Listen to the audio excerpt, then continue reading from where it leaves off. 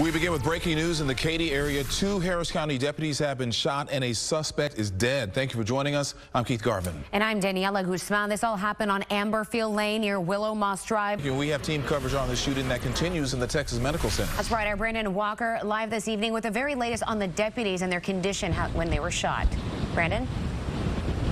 And Daniela, any minute now, we're expecting that update from Harris County Sheriff Ed Gonzalez, who is there in the emergency room here at Memorial Hermann Hospital. We were here about maybe a half hour ago or so as the caravan blitzed its way into the emergency room here. Video of that on your screen showing uh, the rush to get those two Harris County Sheriff's deputies here to the hospital. The good news, according to Harris County Sheriff Ed Gonzalez, is that they were stable when they were brought here and also their injuries are not not life-threatening. The sheriff is expected to come out here and give us details on the extent of those injuries, but we are told that it will be brief because those deputies are expected to be okay. That is the good thing as we come back live here to Memorial Hermann Hospital, a very busy scene as members of law enforcement gather here in a scene that we have seen far too often of late here throughout our community. Again, any minute now, an update from Harris County Sheriff Ed Gonzalez on the two sheriff's deputies shot, but again, their injuries non-life threatening. They are expected to be okay.